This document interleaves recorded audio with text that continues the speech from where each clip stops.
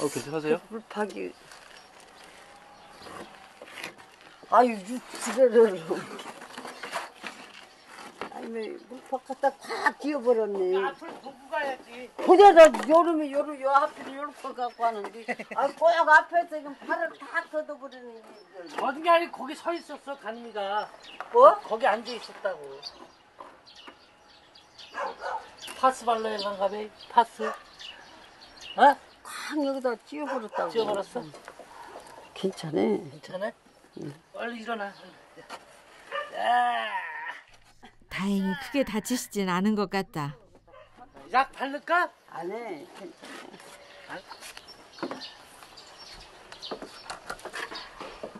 다쳤어? 어? 다쳤어? 괜찮아 아이고 피나게 피나게 다쳤으면 이러고 입도 안 해 나도. 분위기가 괜찮다 싶었는지 슬쩍 들어온 녀석. 너희 집 가. 너가 오면랑 너가 비라고 따라가. 너희 집 아니에요 여기는. 말인 게 미워.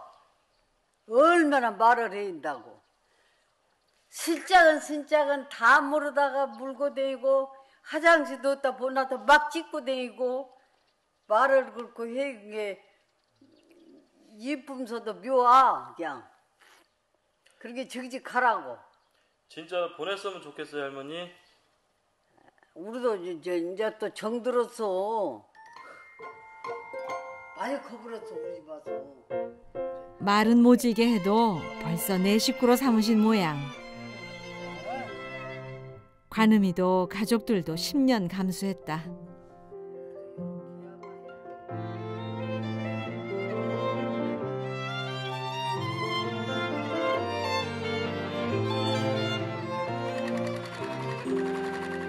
이른 아침 영철 씨가 밭으로 향한다.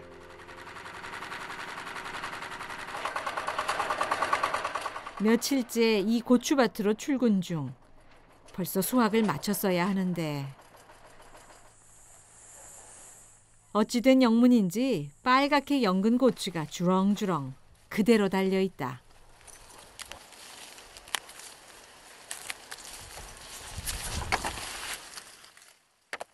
설이 오면 못 먹어요. 못 써. 그러니까 이걸 안 따줄 수가 있냐고. 이렇게 잘 연그러 가지고 이렇게 싱싱한데 얼마나 많아 이 빨간 거 봐. 아. 아, 제신 여저 요줄이야 이줄. 그런데 한 발 늦게 나타난 여인. 실은 이웃인 연자 씨네가 이 고추밭의 주인이다. 아 드세요. 아 오늘 일요일은 쉬지. 일요일은 쉬어야죠. 해. 이거, 아까워서 어떻게 하려래. 설이 오면은 일손 돕겠다는 이가 앞장을 서니 어쩔 수 없이 따라 나왔단다. 오늘 일요일은 쉬는 날인데 왜 일하시냐고 내가 하지 말자 그랬더니. 아 저 몸이 안 좋아요 지금 감기 들어가지고. 뭔가라 이게 일이 되게 많아요 고추가. 형제처럼 허물 없이 지내니 가능한 일. 6년 전 영철 씨네가 귀농하면서 제일 먼저 사귄 이웃이 연자 씨네다. 우리가 전에 한번 그 집 옆에다가 배추를 심은 적이 있어요. 근데 배추 심었는데 밤늦게 그걸 작업을 하게 됐는데 어둡잖아요. 근데 저 전 사장님이 나오셨거든요. 낮에 딱 큰 거 있죠. 전기불을 켜주시더라고요. 밤늦게까지 일하신다 그러면서 어, 그것이 인연이 됐어요. 밤늦게까지 배추 작업하는데 그것 때문에 인연이 돼가지고 어머니가 그대로 왔다 갔다 하시고 그랬던 것 같아요.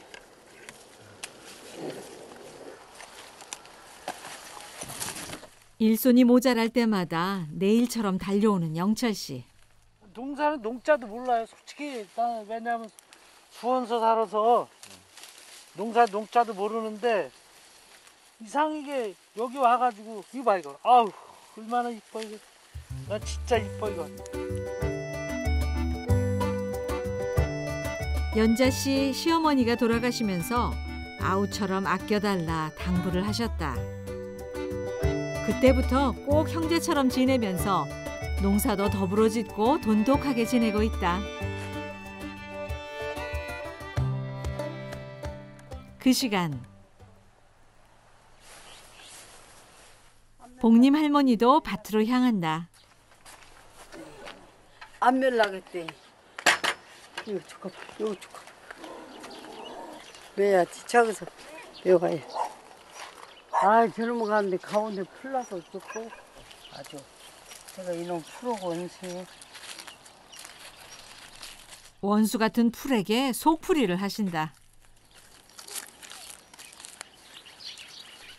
사실 오늘 나름 중대한 계획이 있었는데 남의 밭에 달려간 사위 때문에 틀어져 버렸다. 들게 못한다고, 절대? 어? 절대 들게 못하러? 아니 내일 털어야지 뭐 비 안 오면 뭐 아유. 내일 털어야 될것 비가 같은데 안 오면. 근데 비온다고 게 그래. 비온다고 게. 오늘은 오늘은 다 못 털잖아 오늘은 다 못 털어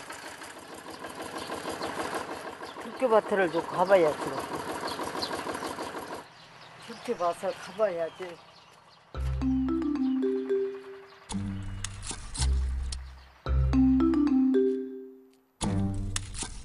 비 오기 전에 들게 좀 털자니까 애타는 마음을 이렇게 몰라준다.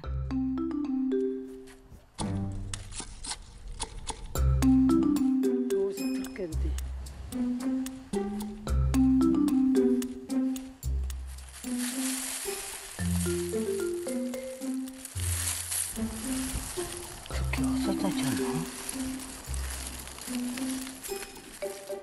어찌고 비었어? 어찌고 비었냐고. 베어놓기만 하고 털지를 않으니 다 여문 들깨가 쏟아져 버리진 않을까 속이 까맣게 타들어간다.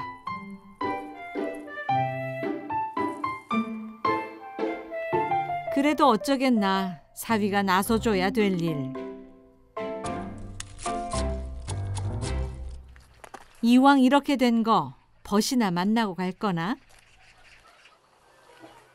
앞도 안 왔어? 할머니 혼자 뒀어? 어, 어, 저, 간, 거기 오며 가며 틈만 나면 들여다보는 이웃 할머니네 집이다. 일점 안 왔어? 안 왔어? 아무도 안 왔어? 일어난다고? 뭐, 누워서 일어나. 아이고 어? 참 너무 술로 사줘 어려운 소리야 그럼 일어나봐, 어디. 응. 아이고. 내 누웠기만 하면 못 써. 어떻게 울어 어? 어떻게 아버지께 낮에 밥 잡쌌어? 먹었지 그럼 먹었어? 누구든 끼니가 제일 걱정인 복림 할머니. 물을 닦았는데 걸레를 행주 빤다는 핑계로 조심스럽게 부엌에 들어선다.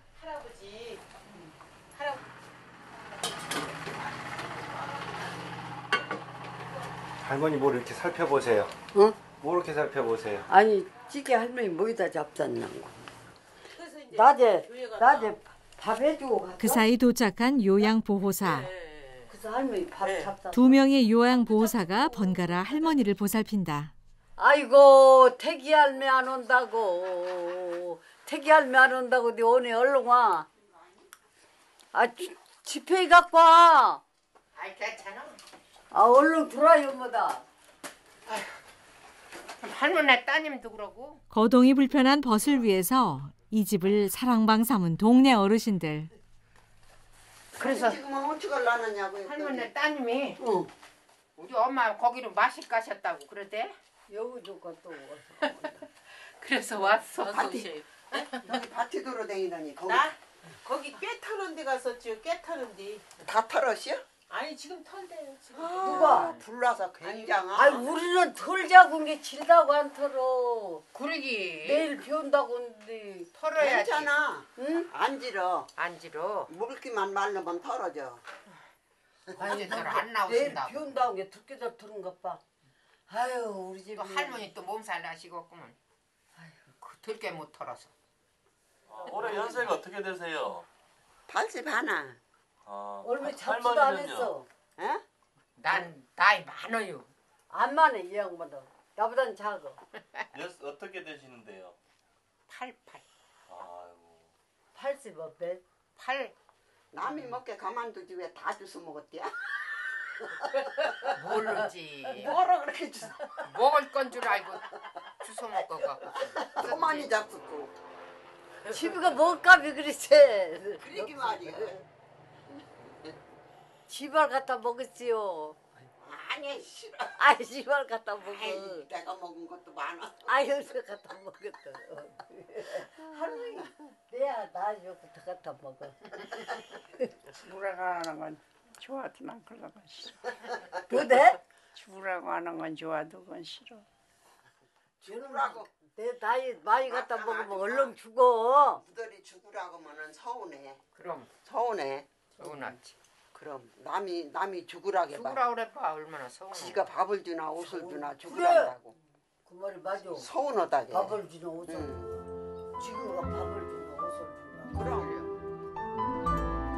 어느새 황혼의 문턱은 훌쩍 넘어버렸지만 이생 저 너머에 무엇이 있을지 오래도록 몰랐으면 싶다.